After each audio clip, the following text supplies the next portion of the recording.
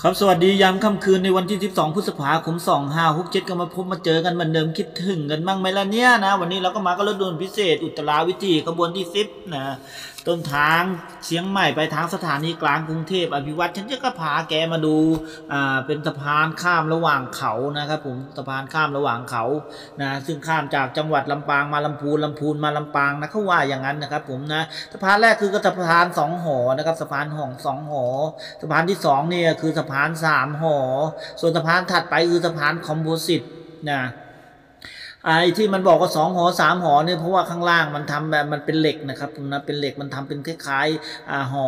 อ่าคำยันสะพานอยู่นะครับ ผมนะ แต่ตอนนี้สะพานสองหอเขาก็เพิ่มเป็นสามหอแล้วส่วนสามหอก็เป็นสี่หอแล้วนะครับ ผมนะเพื่อรองรับน้ำหนักและเพื่อความปลอดภัยนะครับ ก็คือนี่ก็คือยามค่ำคืนนะในการที่ฉันทำขบวนสิบลงจากเขานะลงจากเขาแล้วก็ข้ามสะพานระหว่างหุบเขา แล้วก็เอามุมมองมาให้แกดูนะ เพื่อแก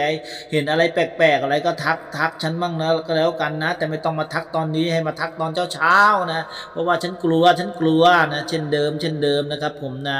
ไอสะพานคอมโพสิตเนี่ยเมื่อก่อนเขาก็เป็นสะพานห้าหอนะครับ ผมนะก็งงไหมมีสองหอสามหอแล้วห้าหอ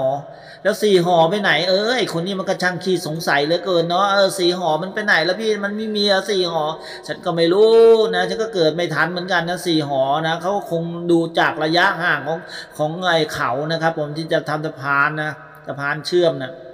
นะทำห่างมากก็